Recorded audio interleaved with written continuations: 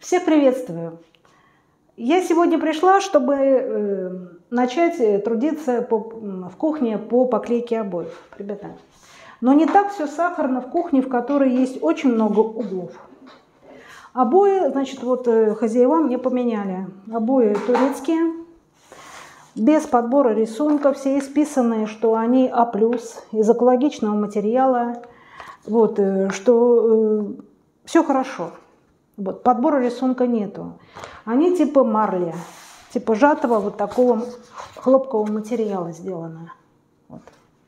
Тяжелый рулон, все хорошо, как я заказывала. Мне поменяли именно вот, чтобы он немножко был фактурный.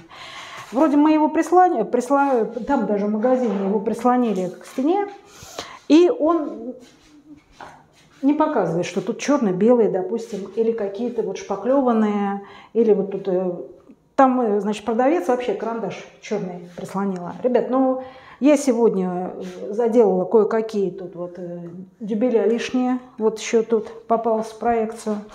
Потом вот тут белым цветом сделала вот эту стену от угла кистью, а тут валиком до холодильника.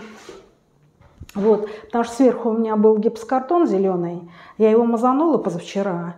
Но этого было мало. Теперь уже получилось зелено-белый на сероватом фоне, а вот тут вот э, был желтоватый фон. Ребята, но я же, видите, с построителем теперь плоскостей подружилась. Что, напрасно я его покупала зимой? Не напрасно. Ребята, значит, смотрите, углы. Угол кривой. Каким образом все это я проверяла? Очень легко у меня есть пульт с кнопками и штатив. Штатив я покупала тоже в наборе к этому построителю плоскостей. Ребят, смотрим вот сюда на угол. Угол снизу, вот приблизительно вот, вот до сюда, вот до сюда, он приходит э, нормально, он ровный. А дальше он э, приблизительно полтора сантиметра наверху, он уходит в мою сторону, вот на эту стену. Вот. Но в помощь мне как бы нож ну, малярный будет и шпатель. Буду резу, резать по шпателю. Лезвие олфа. Значит, как я, ребята, как я кроить буду? Э, метр ноль шесть обои. Значит, тут вот я буду его резать, это полотно. Кусок будет у меня 28. Ну, как бы 26 по стене, плюс 2 на эту сторону. И 78 будет вот этот кусок, 2 сантиметра будет на эту сторону, и буду среднюю линию резать по шпателю. Класть шпатель и резать. Вот, чтобы ну, угол у меня был закрытый. Здесь у меня, смотрите, ребята, сверху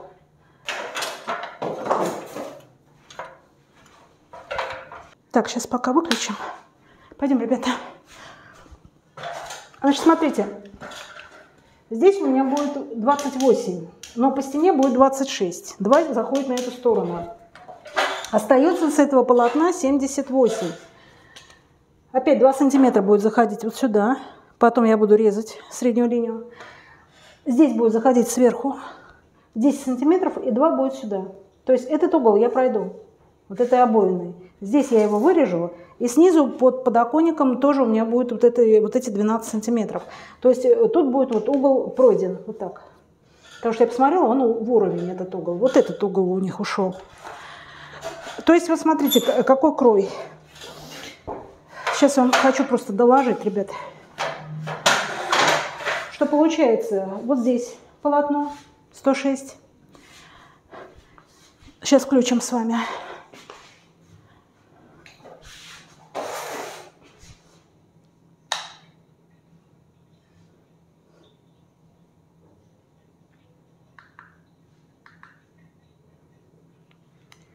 Следующее будет вот сюда, вот 106.